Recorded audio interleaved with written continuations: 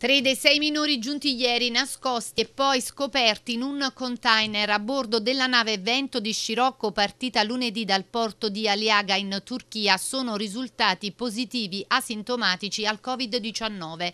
Di buon'ora che stamattina le ambulanze dell'Associazione di Volontariato Humanitas di Salerno hanno trasportato i ragazzi, tra cui una coppia di fratelli, al centro Covid di Agropoli, ma si attende ora l'esito anche di altri tamponi effettuati sui componenti del gruppo.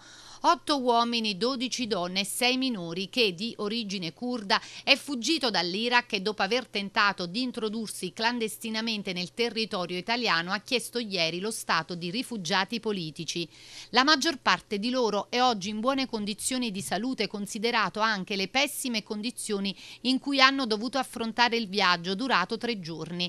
La nave battente bandiera maltese è infatti salpata lunedì dalla Turchia ed è giunta nella tarda serata di mercoledì mercoledì nel porto di Salerno. Quando hanno capito che il container nel quale si nascondevano era stato sbarcato a terra, i clandestini hanno praticato un foro nella struttura che è stato il loro vagone e hanno tentato di uscire.